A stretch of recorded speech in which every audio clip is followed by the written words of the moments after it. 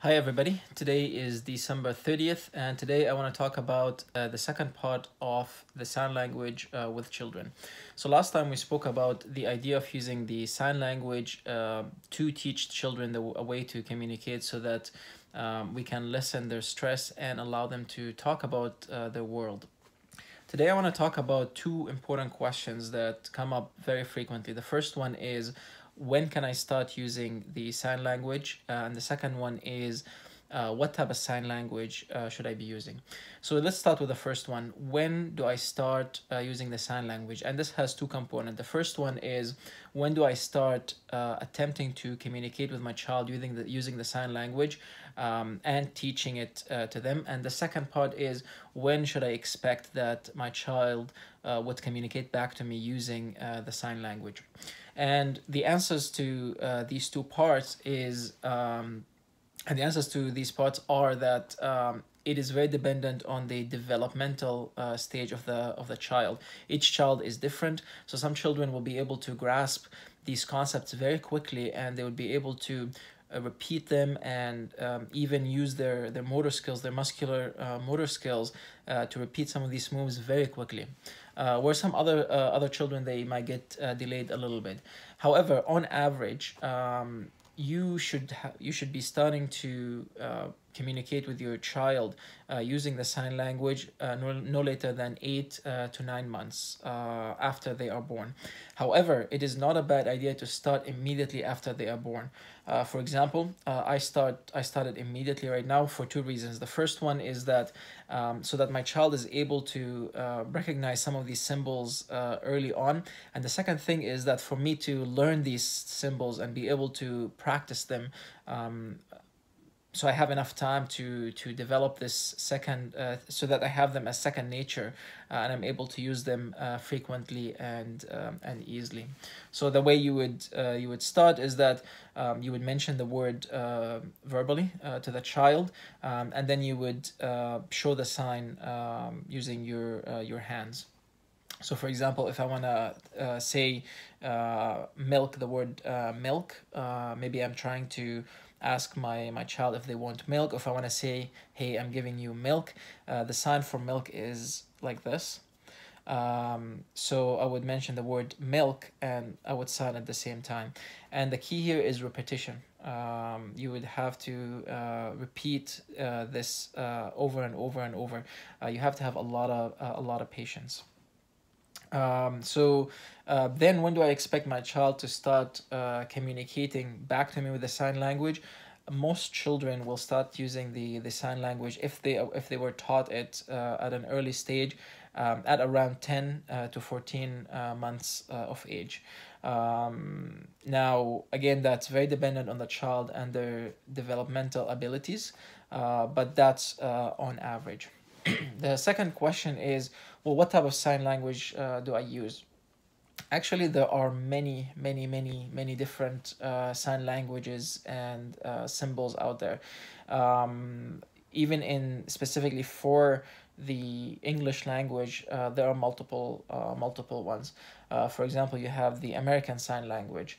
Uh, you also have the International uh, Sign Language. And then uh, for every culture or every country that speaks other languages, uh, they develop as well uh, their own version um, of the uh, sign language. So which one uh, should you use?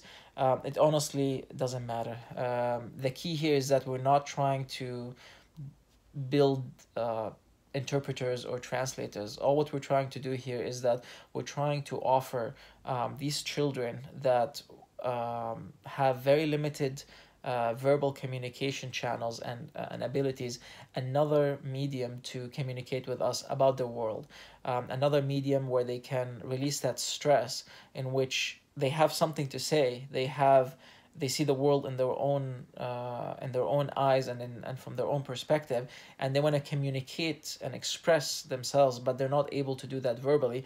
So we want to give them another uh, channel another medium so that they're able to communicate with us. So what you will know what you will notice is that most of the terms that you will learn and you will teach your, your child are going to be very simple terms uh, that pertain to things that are used uh, frequently. Uh, for example, the uh, the idea of milk, the idea of um, eating, uh, drinking, uh, water, uh, things like that. Um, so those simple terms in most of these languages uh, they are uh, the same. Uh, but even if they're not uh, you want to pick something that is simple uh, that is simple very very simple uh, because the ch- the children don't have those abilities to to mimic very complicated moves um, while their muscular system and their motor motor skills are still being are still developing. Um, so if you see, for example, two different symbols for the same thing, pick the the easier one and use it with that with with your child and stick with it. It doesn't matter what you pick. Uh, just stick with that specific symbol. Uh, you can even develop your own uh, symbols and and moves, and you'll actually tend to do that uh, very early on. For example, if you're saying bye, you will naturally just wave uh, bye.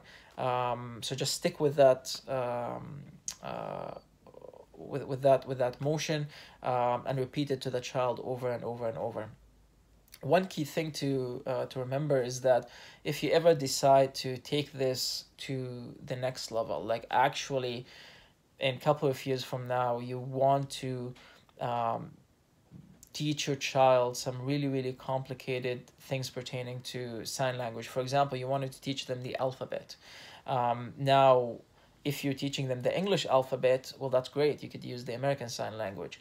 Um, however if you are speaking another language to your child for example you're trying to um, uh, to build a, a bilingual uh, child or bilingual house. For example, for me, I speak to my uh, to my child in Arabic, um, but if I ever get to the level where I am trying to interpret uh, the letters because each letter has its own sign uh, has its own uh, kind of motion um, or symbol in the sign language i'm not going to use the american sign language. I'm actually going to use um, another set of symbols that are specific to uh, arabic sign language.